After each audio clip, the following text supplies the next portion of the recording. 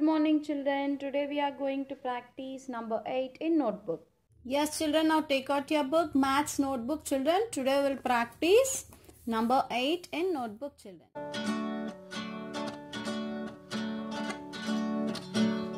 Eight apples, eight trees, eight tiny little buzzing bees, eight tables, eight chairs, eight monkeys jumping over there, eight candles, eight flames, eight smiley happy dancing dames, eight farmers, eight books, eight very hungry sitting ducks, eight chickens, eight sheep, eight frogs getting ready to leap.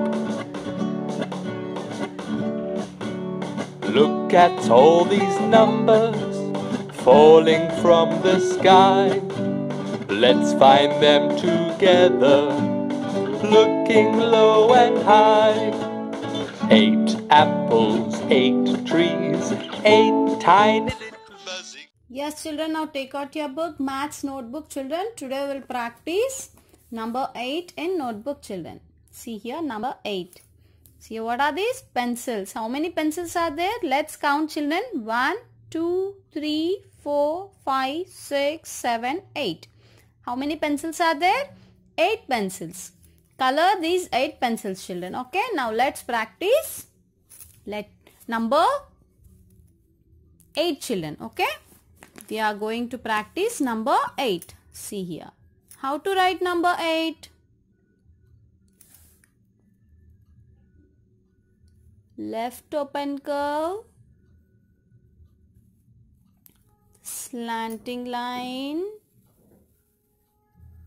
Again left open curve. Right open curve like this. Okay children? Once again see.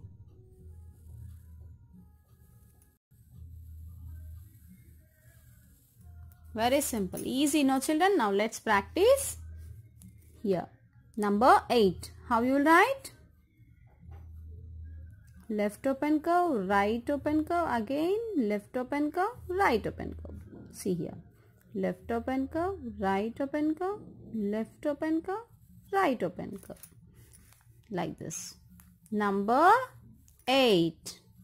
Number 8. Say and write. How you will write number 8? Left open curve, right open curve, again left open curve and right open curve. Number 8.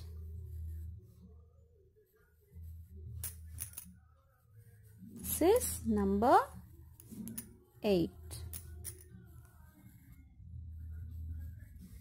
Yes. This is classwork part.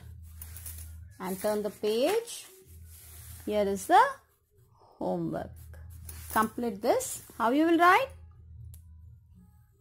Left open curve, right open curve, again left open curve, right open curve. Leave two lines and again you write. 8. Number 8 like this. Complete this in notebook children. Thank you.